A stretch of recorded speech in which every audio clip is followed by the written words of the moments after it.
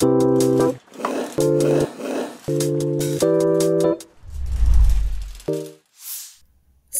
satu hati. Bapak Ibu, pada video kali ini saya akan memberikan tutorial cara membuat rubrik penilaian di Flexible Learning UKSW. Pertama, kita pilih tugas yang akan kita buat rubriknya. Di sini, saya memilih tugas pengertian etnomatematika. Pilih Edit Setting.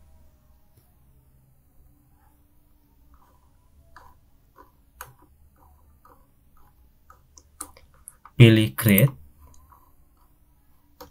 di bagian metode, silakan ubah menjadi rubrik. Pilih Save and Display. Ada dua pilihan. Yang pertama membuat grading dari template, dan yang kedua adalah membuat sendiri. Saya pilih yang sebelah kiri,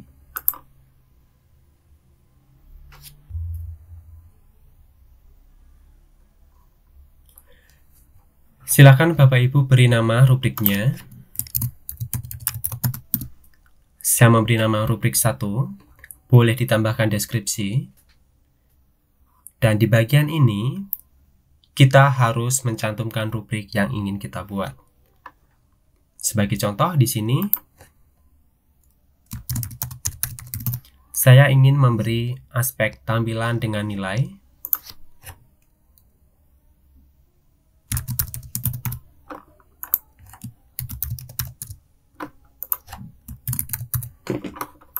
kurang cukup baik. Kemudian saya ingin mengedit nilainya, di bagian kurang saya beri satu poin, di bagian cukup saya beri dua poin, dan di bagian baik saya beri tiga poin.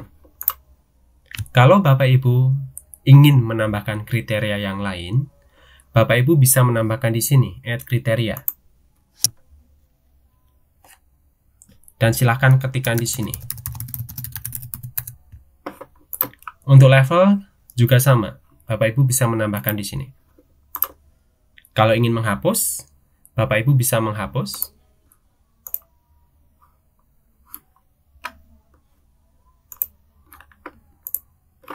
Dan kalau sudah sesuai, Bapak Ibu bisa memilih beberapa pilihan yang ada di bawah. Centang bagian yang Bapak Ibu inginkan.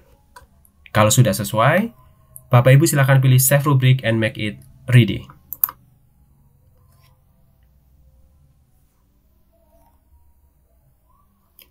Rubrik Bapak Ibu sudah siap untuk digunakan. Kita coba. Saya pilih Grade.